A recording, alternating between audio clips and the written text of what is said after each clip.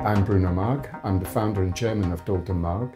We're a font design studio based in London, in South London, in Brixton, and we deal mostly with corporate typefaces. Some of the work we have done is new fonts for uh, the Amazon Kindle, you know, Bookerly. Uh, we've also worked with Intel and HP, and uh, most recently we've just released a font uh, with the BBC, which is now up on the BBC Sport, new BBC fonts.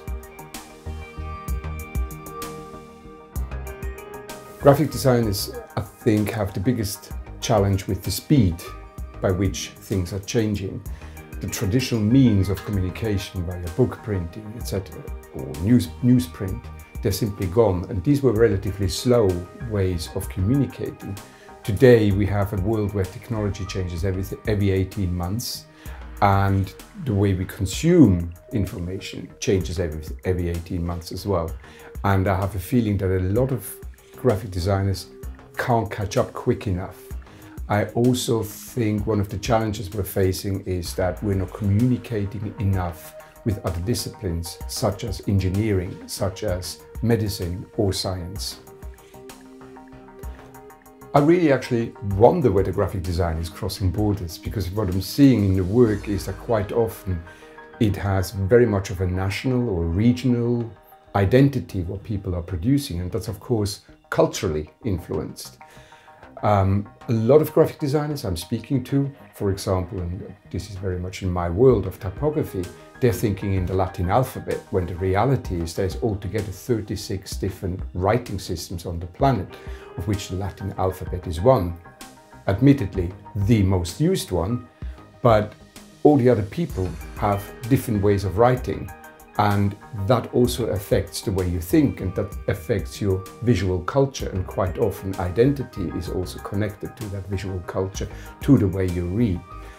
Um, i think graphic designers or generally and then include myself in that have a tendency to be scared of other disciplines such as science such as engineering.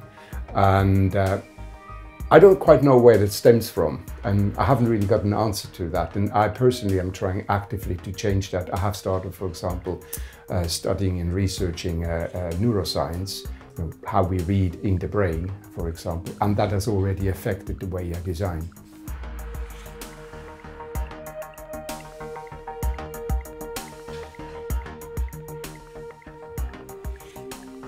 I think uh, graphic design can be an extremely good tool for empowerment. As a graphic designer, I have the means to help someone understand information much better.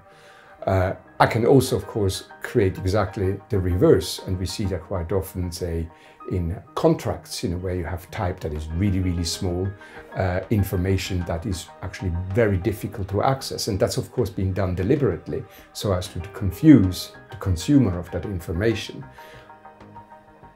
And as graphic designers, you know, we're not artists, we work for a client and we do that, you know, and getting paid for it. Whether that is a good uh, idea or not is of course debatable.